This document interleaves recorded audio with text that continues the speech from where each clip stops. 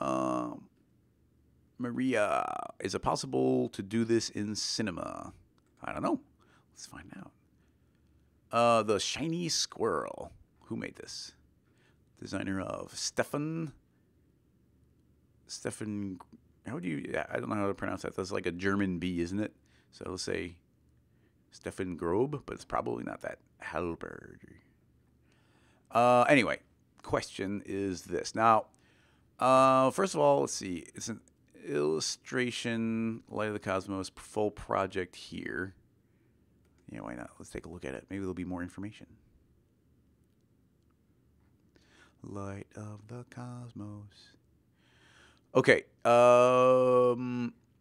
Yeah. Yeah. Yeah. Yeah.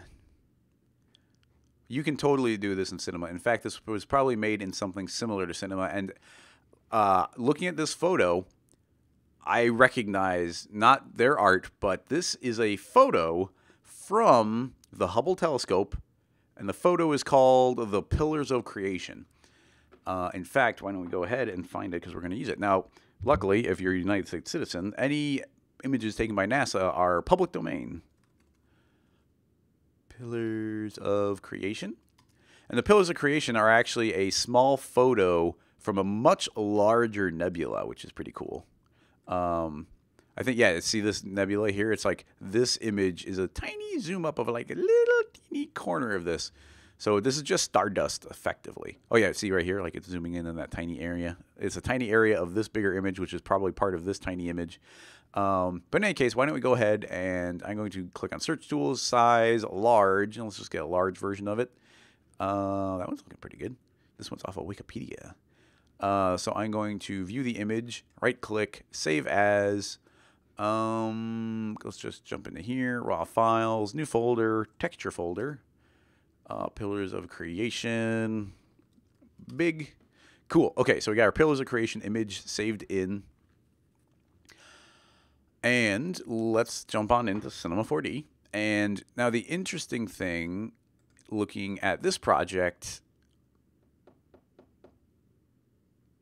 is mm, there there is a, some curvature to it. There's not, it's not just flat. So, but I think I have an idea of how to do that. Um, so why don't we go ahead and create a plane? This is going to be pretty straightforward, actually. We're going to create a plane, and let's view it from the top, pretty much perfectly from the top. It's probably a good idea to create a camera. And I'm going to, on the camera, we can like zero out these numbers and get nice and precise, negative 90. And then we can go zero, zero, and now we have very precise control over, over what we're looking. Now that picture I took looked like it was very uh, square, which is helpful. So let's go pillars. And now let's go ahead into a material, create a new material. Mm, maybe the luminance channel. I don't know. Let's start with the luminance channel. Uh, let's go and click on the dots to go find our image. Cool. Go ahead and apply. Very straightforward so far. Okay, cool. So we've applied that image. Now, I think the most simple bit of this is going to be grabbing our pillars of creation and dropping it also into our displacement channel. So we do that, put it in displacement, turn on subpoly displacement, and actually, I'm going to delink from our camera for a second so we can actually see what we're looking at here. So let's go ahead and just hit render and see what we get. Oh, look at that. Not too shabby so far. Let's set that to 50 instead of 5. Render. Ah, look at that. Look at these little pillars shooting out from the image. And then overall, a depth pushing down on the center bit. If we go back to our camera, we're going to have a little bit of perspective here. And look at that. We're getting all these nice little sharp points poking out from there. It's looking pretty good. Um, let's go to our subdivision level. Let's jump it up to maybe 5. I want to see if we can make these stars a little sharper. It does just seem to be built into the image where these kind of have this reddish fall off. So we're going to get those pillars like that. Now, um, maybe maybe they have some curvature to it, or maybe they just start getting a bit of a fisheye. It's hard to tell what the fisheye is doing here. So I'm just going to create a landscape object for a second. That's going to give us a little bit of idea. So if we zoom way out and pull, no, that flattens. We actually want to pull in and then zoom out. Yeah, there we go. So now you see we're getting lots and lots of height from our landscape. Probably too much. So let's hit render here and it might be chaos. Yes, it's chaos because I went way too far with it. Still kind of neat looking. Um, so now we need to zoom in a bit and zoom out. Let's actually see. This might be better if we go to our camera and see how what our focal length is. So normally, what's normal? Like 40 or 30? Reset to default. Yeah, 36. So let's try jump this down to 10. And now that we're at 10, why don't we just get close enough so that it kind of fills our frame, hit render. There we go. Now you see we're getting, I, I thought we were going to have to bend it to get it to pop out, but we actually can get this perspective just by getting a little bit of a fisheye lens going. So we get all the little points sticking out. We get all the depth happening here. I mean, oh, like at a glance, like, and look, you can clearly see I was totally right. Like we are nearly perfectly recreating this image. Like there's these shapes. You can see the little red fall off happening right there. So this is just the image put on a plane, extruded with a certain millimeter uh, focal distance. I might be saying that wrong. I don't know camera terms. Um, uh, yeah, a focal, I did say right, focal length of uh, 10 millimeters. So why don't we go ahead and send this out to the picture viewer because this was so quick and spot on. Why don't we go ahead and just spend a little bit of time and jump into Photoshop and try and make this to make this look a little nicer. I'm gonna start launching Photoshop because it takes a little bit on this hard drive. Uh, and let's zoom in a bit and hit render. I want to make sure that we're framed up where we can actually see this a bit. Yes, thank you, Photoshop. Render, please. Uh, we can crop it in Photoshop, so that's actually working fine. I think our pillars are a little taller. I'm fine with that. Um, and in, in, some ways, I wish our image was bigger. And I wonder if we, maybe we should go back into uh, our different images here, and maybe we can find an image where it's a little bit more zoomed out. Because I wouldn't mind seeing a little bit more of this environment, but that just might not be possible. Um, to get that more in context because we just need a giant image where we see more of it. Um, and I'm just not seeing that as an option here.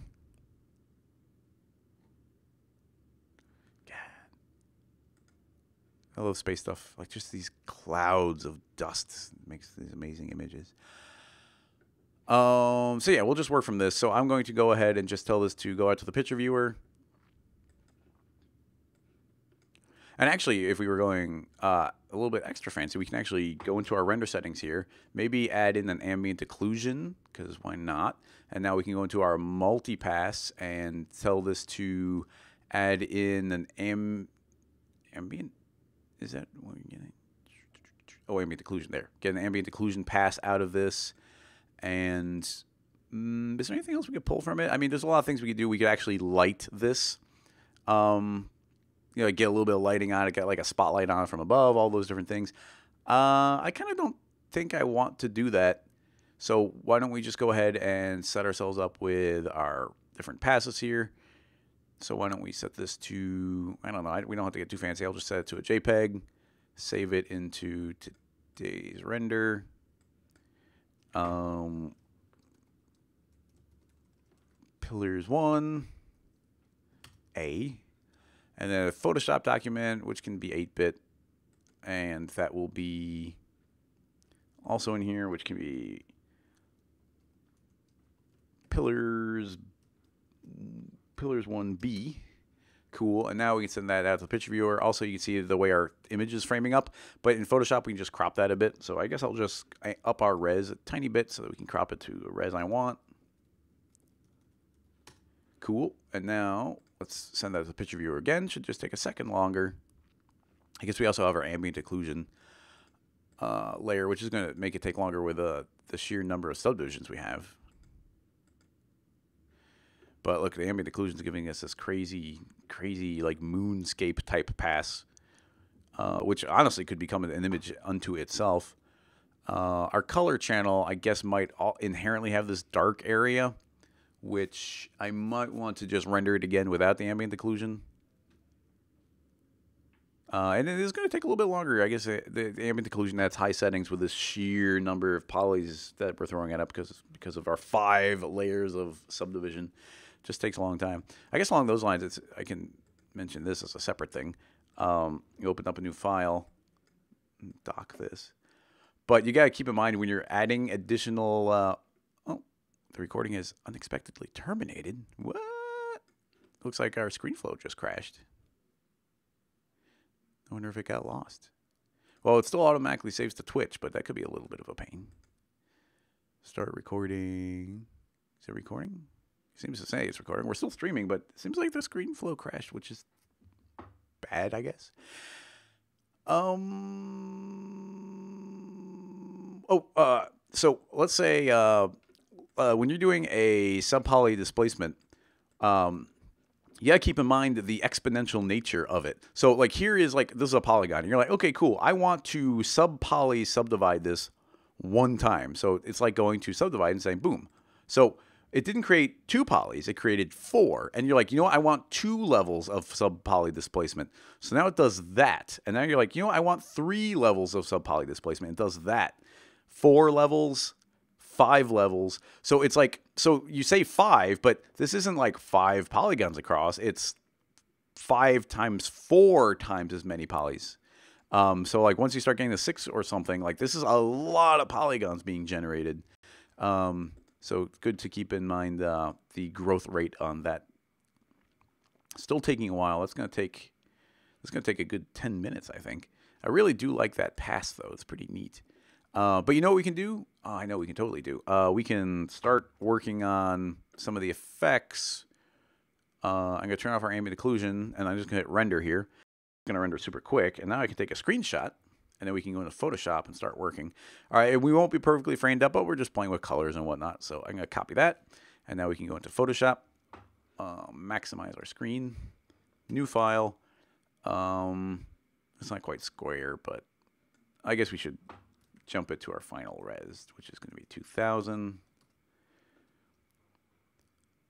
Paste, and we'll just scale this guy up to fit keep in mind everything we do won't be perfectly overlaying on the other one, but we can work from this. Uh, so I'm going to duplicate my layer. I always like keeping the original down here while I'm working. So there's a good chance we'll actually be cropping this. So to fake the crop, because I want to keep the resolution, I'm just going to enlarge it. So now we're going to make that a little bit bigger like that. And then we get that image. So that's kind of neat. And then we can jump in. Um, and then right away, I mean, Vibrance is a fun, fun little one to play with right away. I, I use it sparingly. Like uh, I hate so much when you're like on some website, like you're on Reddit or something, and I'm subscribed to a bunch of different photo things just because I think they're neat. And then you'll see a photo, and it's like, oh, it's a gorgeous river. But then you'll see that they took a photo and they just put it in the Photoshop and then cranked the vibrance all the way. And it's like, there's no way that that like river is bright, bright, bright, bright blue, and the trees are bright, bright, bright, bright green. I don't know, it just takes away. But you use a little bit of it though, and you can, you know, make everything a little bit more vibrant. Um, I like jumping in the curves and honestly just playing around with them. Like we can play with our overall contrast here. Maybe pull this a little darker and make the darkers the darks darker, the lights lighter, or you do the opposite. Um, make the lights darker and the darks lighter, and we're gonna kind of gray it all out. Of course, that's not usually the way to go. Um, making everything a little bit dark here is actually kind of neat. Do we want to brighten up? Maybe, maybe not. I'm gonna keep it all a little bit darker, and maybe we'll do some screen overlays on top of it. So we'll do that. Actually, I didn't mean to exit that yet. So that's kind of the overall color, but now we can jump into red. And let's see, maybe we can pull this red down a little, and I see we get a little bit more of the blue territory, but we can brighten up the reds here or do the opposite. I, and honestly, I don't have a specific goal here. I just start playing around. Uh, go into our green. Uh, so yeah, now we can really pull in the purples, or we can pull it more into the green territory, which I do kind of like that. Pull that up there, maybe deeper here. Oh, there you go. I like that blue. We can even grab this base dot and pull it around more yellow, more blue. Actually, it's kind of neat blowing it out a little bit like that, a little bit overexposed kind of blue there. So that does an overall color. And then something that, well, uh, let's see, it might be nice to add a quick vignette on here. So I'm just going to make a new layer, hit G. That automatically jumps to gradient. If it doesn't, you didn't, you can hit Shift G and you can cycle through all of the different tool things here. So Shift G eventually will get you to gradient. By default, we're already on this circular. I already have black to white, so I can just go ahead and draw that full fall off. It was actually correct. I often have my gradient backwards, so then I just have to hit, have to hit Command or Control I to invert it. But now we've got that, so now I could say overlay. And now we get our little bit of a vignette effect. We clearly don't want it all the way powered, but a little bit, just make it darker on the outside, lighter on the inside. Already looking a little bit cooler there. Um, so now something I like doing, and I always, what's the shortcut? Command Alt Shift E. This is goofy a shortcut. So if you want to duplicate all of your layers and kind of flatten it out as a duplicate, the shortcut is Command Alt Shift E. That's the craziest shortcut. Uh, and then you get a duplicate of your entire layer. So there we go. This is our duplicate of our entire layer. I want to get a little bit of glow going here. So I'm going to go to my levels and I want to crush out everything except for the brightest points like that. And I'm actually going to duplicate it at this point because I, one of these I want to keep the colors and the other I want to be white. So I'm going to go to blur. Actually, before we do that, why don't we tell this to screen on top of the under, underlying layer? And it's probably having a little bit of effect, but not much. You see there's just a little bit of extra blowout there. But now if I go to filter, blur, Gaussian blur, and we can probably use some other blurs. In fact, we could have probably gotten some nice depth of field. If we'd thought about that with a pass, we could have rendered this out with a depth pass and then gotten a little bit of blur on the depth, which would be really neat. Um, but now we can start blurring those layers. And now you start seeing we get this little bit of glow on the brightest points. So that's pretty neat. And now I'm going to grab this other layer and I'm going to drain all the saturation out from it. Go maybe even go back to layers and, and make it even a little bit darker. Maybe a little bit brighter, a little bit darker. Really get those bright points there. And now we can also screen this layer. So you see those are blowing to white, which is kind of cool by itself. You can see it turn on or off. Now we just take that and also throw a Gaussian blur on it. Maybe more, maybe less than the other one. It's just dependent on like what you what you like the look of. It's very subtle actually because those points are fairly bright already. So this makes it these glows I think makes everything feel a little more ethereal. If you if you keep it light, then it can just feel like it's blowing out a little bit on the camera. But if you start going very far, it starts feeling a little bit more like a greased lens, a little bit more, uh, you know, heavenly, dreamy kind of effect. Um, so those are kind of neat. Uh, I might pull the vignette above them just to uh, keep that overlaying so that these aren't, you know, they're not on top of it. Um, so those are optional. I mean, obviously, uh, I can turn those on or off. Like, um, I don't know. I I like them but I also don't like them. I, okay, you know what I'm to do? I'm to keep our white glow to lighten that all up, but I'm not going to use a saturated glow because that starts feeling a little like neon-y. Um, so that's working well.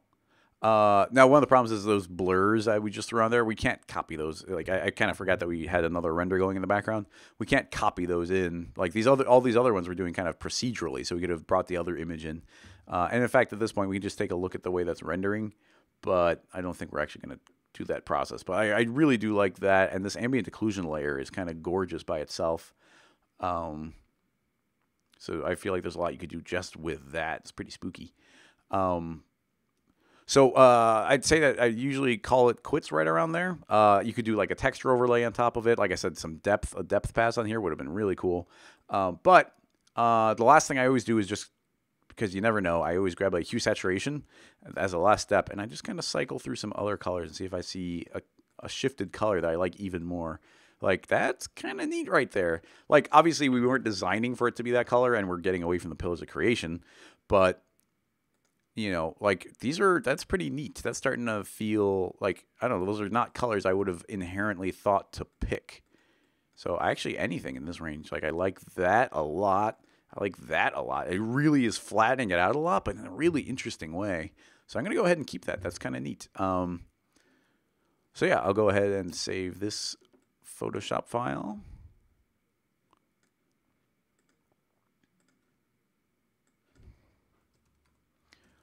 Pillars 1C.